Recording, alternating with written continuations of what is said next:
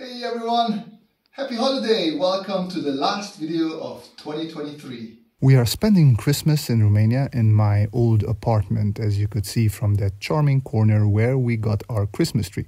So I am a little bit limited when it comes to video making, but I did record this drawing of me doing a quick redesign of Santa's sleigh before we came here, thinking that it might be a good video for the holiday period. And I will be talking about that, and I will also be looking back at the year a little bit and reminiscing about my journey in life and on YouTube. So let us get started. If you follow me for a while, you guys know that I like transforming everyday regular cars into hover cars. I guess I want to fulfill the promise that sci fi movies made when I was a kid, at least in drawing, if nothing else. Also, this year, well, mostly towards the second part of the year, I really got into fountain pen sketching as well. So I thought it would be nice to end the year on two of my bigger drawing trends, that uh, being hover cars and fountain pen sketching. If you go back a couple of months, I uploaded a video with an insect hovercar design. I liked the floaty arm slash leg setup with hover engines on it, and I wanted to do something similar. I wanted to incorporate the loose hanging engines since the reindeer are not incorporated into the sleigh, but I didn't want to go with the Star Wars pod racer design, which was floating around in my head. So, me going back to the insect leg hover engine setup worked actually great with the number of reindeer as well. Each engine could represent one of the reindeer and I could add a central light to the vehicle to represent Rudolph. Now I had a central theme for the vehicle. Next step, I wanted to link it a bit to my hovercars. Most of the hovercrafts I drew this year had sort of an old school car feel to it. Uh, the trick here was that it should be also utilitarian, having to carry around a bunch of presents, but also sleek. Santa deserves a sleek design for his sleigh after all.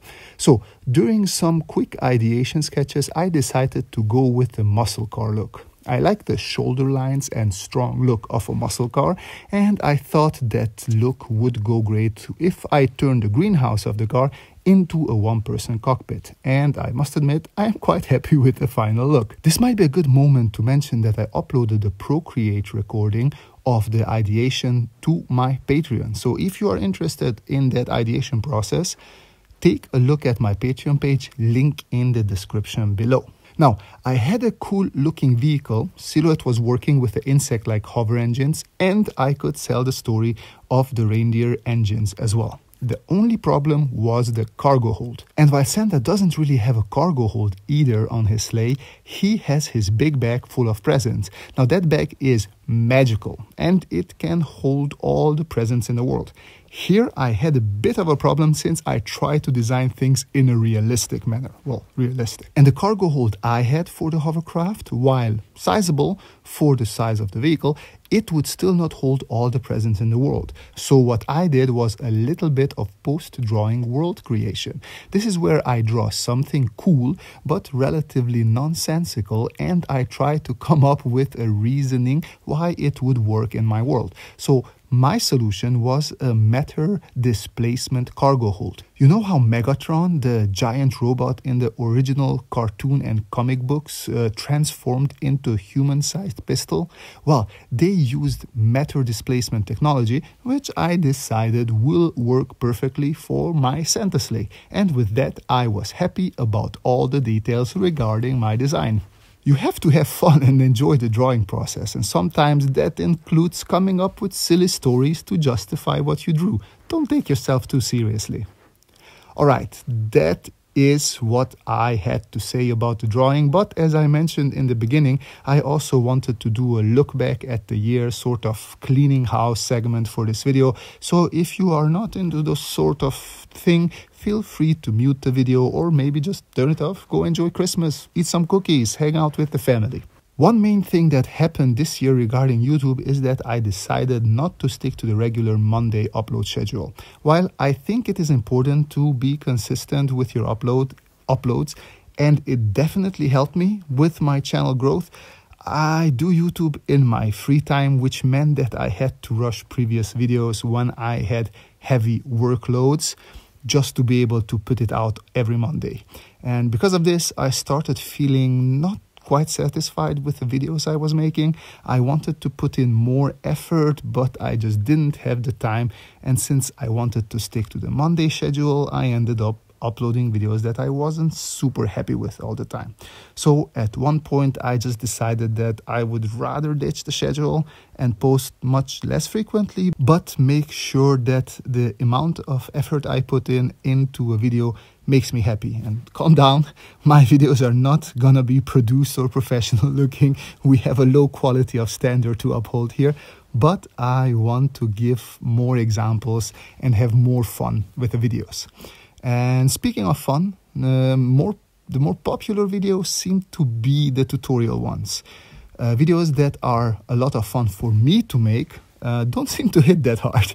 I really love making Pokemon videos with my wife and other kinds of silly videos, but there are a couple of people who really seem to like these uh, videos, but the majority of YouTubers don't, just because how YouTube works. These don't get recommended either. Uh, most people find me because of uh, tutorial videos, which is good. After all, I did start up my channel to share my knowledge with others, but I do feel like there is a finite amount of tutorials I can make. Um, I was thinking of remaking, maybe updating my industrial uh, fundamental tutorials for the future, but I will not bow to the algorithm. I will continue doing a mix of uh, tutorial and fun for me at least videos.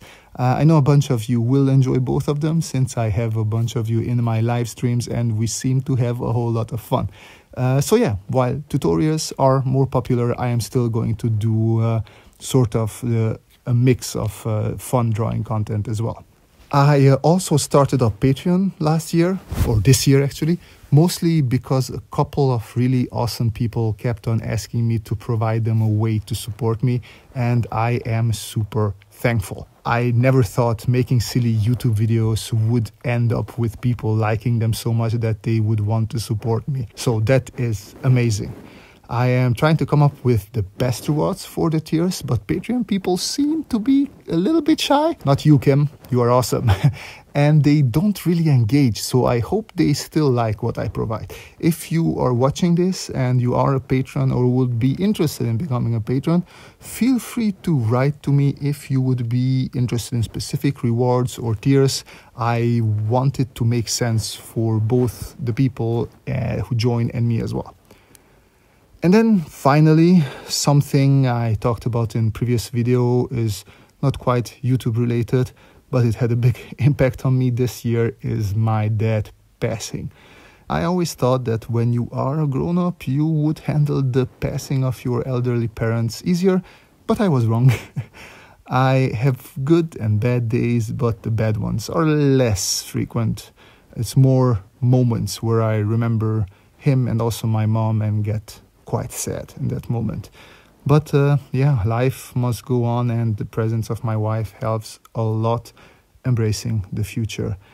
Um, but it did affect YouTube a bit. I went from not having the energy to make videos to trying to distract myself by making videos to accepting what happened and just taking time to process and not making videos again. And I feel this might be a trend for a bit where videos might be scarce. Uh, but among other things, this is also going to be a trend because we are trying to move. This is the looking forward, the future part of the video, even though I added some future steps to my looking back points as well. Uh, we live in a one bedroom apartment, and me working 90% from home from the living room locks that area down for the day. So we would like to get a house together where we have some extra room, at least for a home office, where either of us can go for uh, calls and not disturb the other one. So I will be spending a lot of time looking for houses, figuring out financing, hopefully moving and then set, setting up in a new office. I will, of course, try and put some good videos together whenever I have a little bit of time, but I just wanted you all to be prepared for off times here and there. That was it for this concept design slash life update video. Uh, I went on long enough. If you see this video on the day of upload, I wish you and your loved ones Merry Christmas if you're celebrating that. Otherwise, happy holidays and a happy new year. I hope to see you in future videos. I thank you for all the support. Special thanks to my amazing patrons. But as always, the most important thing is that you folks have a great time, keep on sketching, and see you in the next video. Bye bye.